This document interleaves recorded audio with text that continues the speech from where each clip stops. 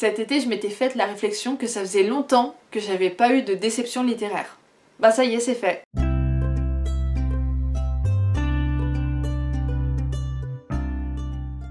Salut à tous Comme vous le savez probablement, j'adore vous présenter des livres qui parlent de sujets sensibles et importants à mes yeux. Je suis le genre de personne à guetter les sorties littéraires pour trouver LA pépite, le livre qui me permettra d'évoquer plein de sujets, plein de thèmes différents avec vous, et également de m'éduquer. Il y a quelques semaines, j'ai reçu un roman de la maison d'édition Bayard, et je me suis dit ça ne peut que coller entre lui et moi.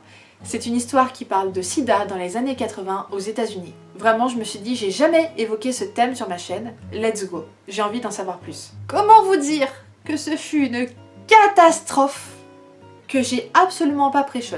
Donc du coup, aujourd'hui, je vous explique pourquoi ça n'a pas collé entre Sortir de la nuit de Helen Dunbar aux éditions Bayard et traduit par Anne-Marie Carrière et moi. L'histoire se déroule à New York en 1982. Depuis que son frère s'est fait jeter du domicile familial à cause de son homosexualité, Michael, lui-même gay, refuse de parler de son orientation sexuelle à ses parents. Il aimerait pouvoir vivre comme il le désire, il adorerait pouvoir être lui-même, mais il préfère se cacher pour plus de sécurité. Ses deux meilleurs amis, l'extravagante James et la combattante Becky, sont là pour l'écouter, sont là pour le rassurer et le consoler quand ça ne va pas, mais c'est vrai que parfois ils ne le comprennent pas toujours, Michael. Vivre l'adolescence, c'est jamais simple. Mais quand en plus tu es un garçon homosexuel aux États-Unis dans les années 80, là où le sida fait des ravages, où on n'est pas renseigné dessus, donc il y a de fausses idées qui, qui restent comme ça en tête, qui créent une peur finalement, puis il y a tous ces morts qui s'accumulent, enfin.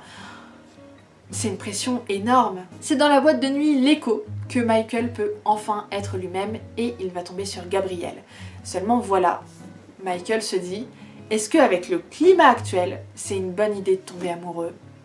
Pas sûr. Jetons un petit coup d'œil à la couverture avant de rentrer dans le vif du sujet. Personnellement, j'adore cette illustration. Je la trouve vraiment très jolie. Problème, je trouve que ça ne va pas du tout avec l'histoire. Le lieu qui a été choisi, il est très sympathique, il est très joli. Esthétiquement, la couverture est très belle, mais les toits ça n'a aucun lien avec l'histoire. Encore ça aurait été la chambre de Michael, ou euh, son escalier de service, ou la boîte de nuit, j'aurais compris. Mais là c'est même pas le cas. Le seul aspect dans cette illustration qui a un sens avec l'histoire, c'est finalement la nuit, là où Michael peut être lui-même. Trouve que les couleurs sont très jolies, les personnages sont très bien dessinés, non mais regardez-moi ça, c'est très très beau. Mais ça n'a pas vraiment de lien avec l'histoire. Je ne ressens pas le climat du livre à travers cette illustration. Alors certes, les couleurs vont très bien ensemble, ça attire l'œil, moi je l'aurais vu en librairie, je l'aurais pris. D'ailleurs, c'est pour ça que je l'ai demandé à Bayard, parce que je me suis dit, les thèmes, la couverture, tout ça, c'est génial. C'est une déception finalement. J'ai eu beaucoup de mal à terminer ce roman. Non pas à cause des sujets évoqués, mais bien à cause de l'écriture et du découpage, qui était pour moi J'abandonne très peu mes lectures. J'aime pas abandonner un livre parce que je me dis que peut-être que la fin sera exceptionnelle. Donc ça sauverait un petit peu le livre. Bon, généralement c'est pas le cas, mais je me force à me dire qu'il y a une personne qui s'est vraiment embêtée à écrire un livre et que peut-être qu'il y a du potentiel à la fin et que je louperais ce potentiel si jamais je ne termine pas ce livre. Dans ce roman, j'avais l'impression de tourner en rond. Il ne se passait rien, mais vraiment rien. Je n'ai pas réussi à trouver de l'intérêt à ce que je lisais. Alors que pourtant je m'étais dit, ah le thème, il est chouette quoi. Mais euh, non. Le découpage était fragmenté en moments de vie, tous plus inutiles les uns que les autres, parfois même on sautait des jours, on ne savait pas pourquoi, en plein milieu du chapitre. Pourquoi? Pour des choses inutiles, qui n'avaient aucun sens, qui n'avaient aucun intérêt. Ça n'apportait rien à l'histoire, rien du tout. Par contre, c'est un super moyen d'endormir ses lecteurs. Là, c'est sûr que... Waouh Je m'attendais à un roman qui nous plonge bah, dans des sujets forts quand même, et finalement, je lis le journal intime d'un adolescent qui a une vie euh, vraiment pas ouf, quoi. qui est très ennuyeuse. Comme j'ai pu vous le dire en début de vidéo, j'attendais ce livre avec grande impatience. Mais vraiment, pour moi, ça allait être mon coup de cœur de l'année, j'en étais persuadée. Je m'étais dit qu'avec un sujet aussi sensible et puissant que le sida dans les années 80 aux états unis je ne pouvais être que conquise. Parce que j'adore m'éduquer sur ce genre de sujet et j'adore vous en parler. J'aime m'instruire sur les sujets sensibles, j'aime comprendre le monde qui m'entoure, j'aime comprendre les personnes qui m'entourent. Donc, je me suis dit, le sida, finalement, je connais pas grand chose de cette maladie, donc go se renseigner. Et j'ai envie de vous dire, heureusement que je me suis renseignée avant de lire ce livre et avant de tourner cette vidéo, parce que je me suis dit, ça se trouve, je pourrais vous lâcher des boulettes. C'est pour ça que je me renseigne toujours avant pour éviter de vous dire des âneries. Il y a un mois et demi, j'avais interviewé l'auteur Abdin Azemian pour euh, la sortie du roman Le Cercle. Et il a également écrit un autre livre qui s'appelle Like a Love Story, qui est disponible aux éditions Milan, et qui parle du sida aux États-Unis dans les années 80. Vous voyez le lien? Je lui ai demandé si d'après lui, pour écrire une bonne histoire, il fallait avoir vécu les sujets dont on parle. Après, chacun son avis.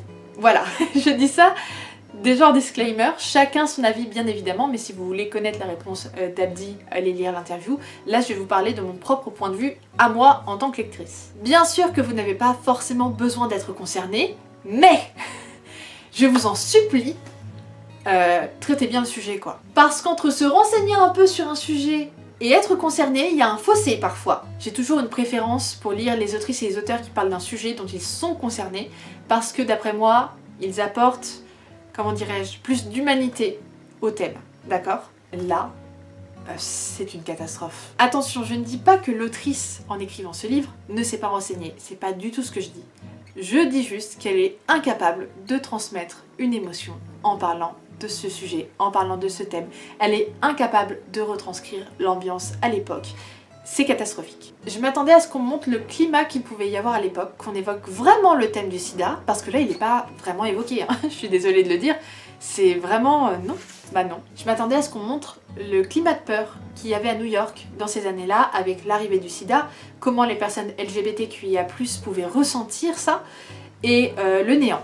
Vraiment le vide intersidéral. Aucune information potentiellement intéressante, aucune émotion. Franchement, c'est la vie d'un ado qui n'est pas plus intéressant que ça. Et le livre aurait pu se résumer en 10 pages. Voilà, c'est vraiment, ça aurait pu faire 10 pages. Ça n'aurait rien changé. On me parle d'un livre où le sida est censé être évoqué, on n'en parle quasiment pas, c'est flou, c'est mal fait. Ce qui est frustrant, c'est que du coup, tu sais qu'il y a des thèmes qui auraient pu être évoqués, qui auraient pu être hyper intéressants, qui auraient pu avoir un potentiel monstre, mais qui ne sont absolument pas utilisés, quoi. Finalement, je me suis dit que la vie du frère de Michael était potentiellement un milliard de fois plus intéressante que Michael.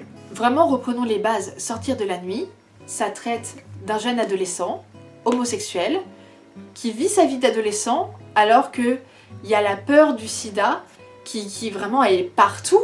Il y a une ambiance qui est très étrange, qui est très particulière, qui n'est absolument pas retranscrite dans ce livre. On parle d'homophobie, on parle de violence physique et psychologique intrafamiliale. Il y avait matière Hélène il y avait matière Et puis, excusez-moi, mais le côté sentimental entre Michael et Gabriel, cette histoire, elle est nulle. Elle est, elle est vraiment mauvaise, cette histoire d'amour. Il ne se passe rien. Il n'y a même pas un peu d'alchimie entre les deux. C'est terrible. Ce qui est perturbant, c'est que normalement, quand on lit ce genre de roman, il y a une évolution des personnages, de la situation, etc. Du point A au point B de ce livre, je peux vous assurer qu'il n'y a rien qui bouge.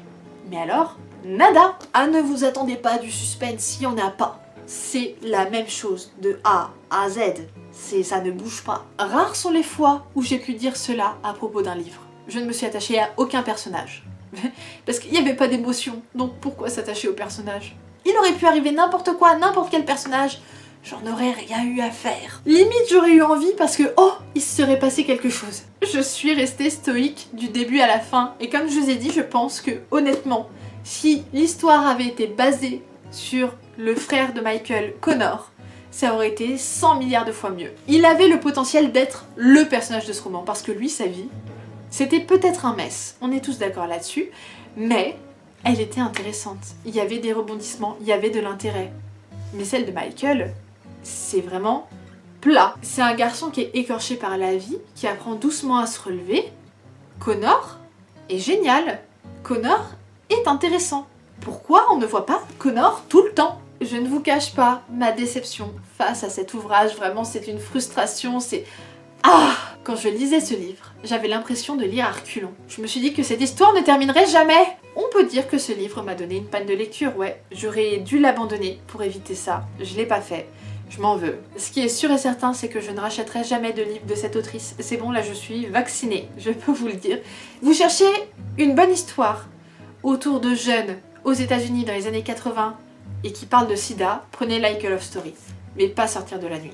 Parce que vraiment vous serez déçus, je peux vous le dire.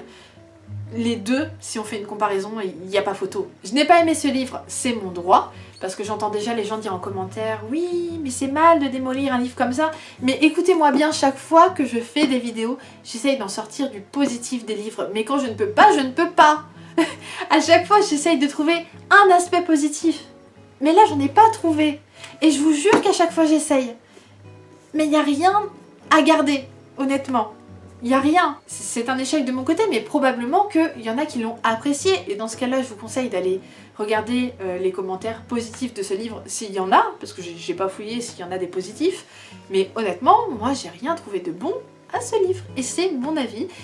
Voilà, personnel. En tout cas, merci d'avoir regardé cette vidéo. Si elle vous a plu, n'hésitez pas à la liker, à la commenter, à la partager à vos amis, à vous abonner, ça fait toujours plaisir. Et je vous dis à bientôt dans une prochaine vidéo. Salut